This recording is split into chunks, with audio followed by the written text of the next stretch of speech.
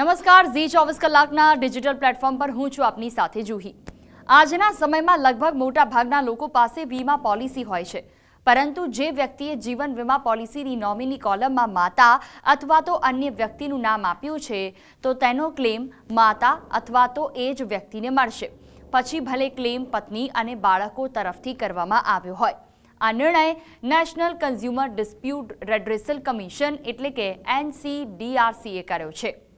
આખી ઘટના પર નજર કરીએ તો ભારતીય જીવન વીમા નિગમે એનસીડીઆરસીમાં પિટિશન દાખલ કરી હતી, જેમાં મામલો સ્વર્ગીય વ્યક્તિ સાથે જોડાયેલો હતો.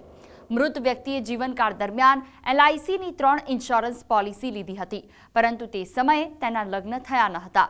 ત્યારે નોમિનીમાં તેની માતાનું નામ લખ્યું હતું. બાદમાં તેના લગ્ન થયા અને બાળકો પણ થયા. પરંતુ તેમણે નોમિની ચેન્જ ન કર્યું. જ્યારે તેમનું નિધન થયું, ત્યારે એલઆઈસીએ નિયમ અનુસાર નોમિનીના નામે ચૂકવણી કરી. જો કે મૃતકની પત્નીએ એલઆઈસીને કહ્યું હતું કે તેના કાનૂની વારસદાર પત્ની અને બાળકો છે. તો ચૂકવણી દરમિયાન તેમનું પણ ધ્યાન રાખવું જોઈએ. જો કે એલઆઈસીએ બધી ચૂકવણી માતાના નામે કરી દીધી હતી.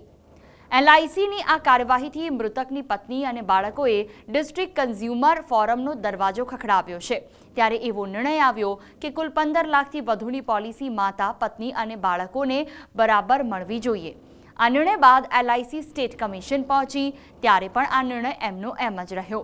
આખરે એલઆઈસીએ એનસીડીઆરસીનો દરવાજો ખખડાવ્યો. જ્યાં ડોક્ટર ઇન્દ્રજીત સિંહની અધ્યક્ષતાવાળી બેન્ચે તમામ વિગતો નોટિસ કરી અને ઓગણીસ જુલાઈ બે હજાર ત્રેવીસના રોજ નિર્ણય સંભળાવ્યો.